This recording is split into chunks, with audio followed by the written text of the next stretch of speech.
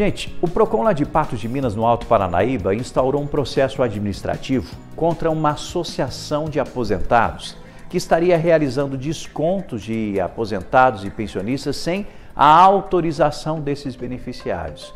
O caso é muito grave e, até o momento, de acordo com informações que estão sendo apuradas, 11 empresas são alvo dessa operação do PROCON Municipal. Rafael Ribeiro está acompanhando toda essa movimentação e tem os detalhes para a gente sobre esse trabalho que vem sendo desenvolvido. Rafa.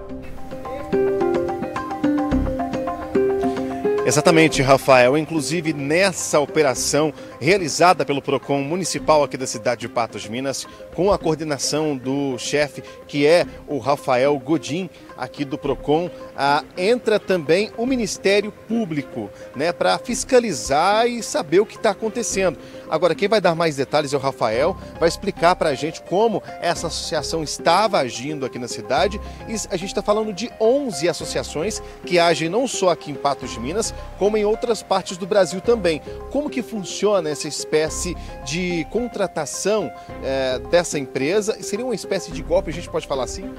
Olha, Rafael, boa tarde, boa tarde, Rafael, nosso xará aí no, nos estúdios.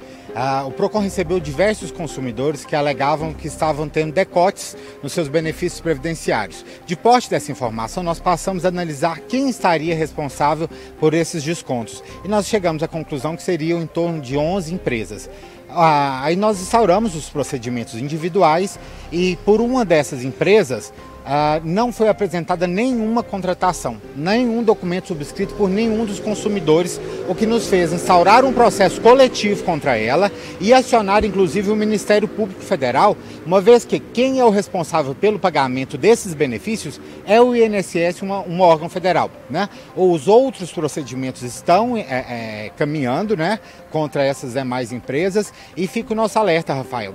Você aí de casa, você que é pensionista, que é aposentado, que viu que o seu benefício previdenciário, seu, sua aposentadoria está a menos do que deveria ser, venha até o PROCON. Você que é de outra cidade, vá até o PROCON da sua cidade para que os órgãos possam ah, acompanhar isso da melhor forma, identificar quem é esse agente que está procedendo com esses descontos e tomar as medidas necessárias. Lembrando, Rafael, que o desconto indevido para o consumidor, ele gera o reembolso em dobro. O Código de Defesa do Consumidor traz esse benefício para você.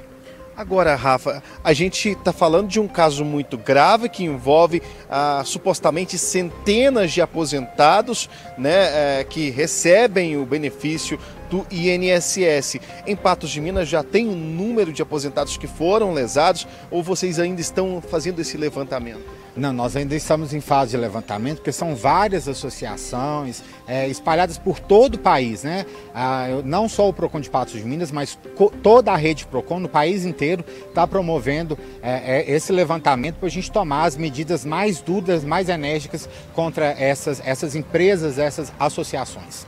Foco é descobrir como eles conseguem ter acesso aos dados desses beneficiários e realizar esses descontos, né? Exatamente, né? Se não tem a contratação, como que o INSS está permitindo esses descontos nos benefícios previdenciários? Esse é o X da questão. Por isso que nós notificamos o Ministério Público Federal, que é quem tem a legitimidade para investigar isso no âmbito judicial.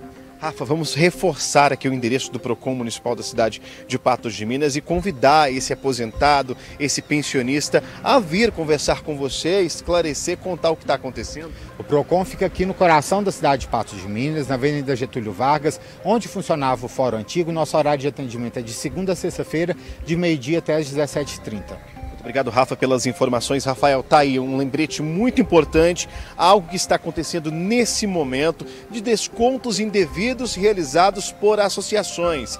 Como o Rafael mesmo disse, são em média 11 associações que estão agindo fora do que é permitido está sendo realizada uma investigação, envolve o Ministério Público Federal e a gente vai continuar acompanhando daqui e, é claro, o papel do Balanço Geral orientar esse aposentado que tanto sofre com salário que vem pouco, tem que gastar muitas vezes com remédio, com outras, outras coisas, né, Rafa? Não está fácil. Eu e, volto com você. E como disse o próprio coordenador do PROCON, é importante que o reembolso é em dobro, tá? O reembolso é em dobro. Tá, então fique atento. Infelizmente, esse tipo de situação vem acontecendo. Agora, por favor, tira essa, essa informação. Deixa eu chamar a atenção para uma coisa que está todo mundo comentando em casa, em casa, na hora do almoço, né? Eu não posso deixar isso para lá. Nós estamos, nós estamos dominando o planeta, porque está aqui o Rafael dos Anjos, o Rafael Ribeiro, o Rafael Godin, que é o coordenador do PROCON. Os Rafaéis estão dominando aqui o planeta. E na direção, inclusive, do programa está o nosso querido Rafael Cândido.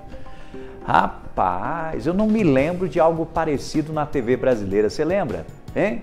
De três Rafaéis assim, juntos? Hã? O apresentador, o repórter e o entrevistado? Hum? Essa não é. é tem, tem, que gravar, tem, tem que gravar, tem que registrar e compartilhar. Grande abraço, obrigado, viu? Obrigado, Xará, obrigado pelas informações, obrigado, coordenador, também trazendo os detalhes aqui no nosso programa.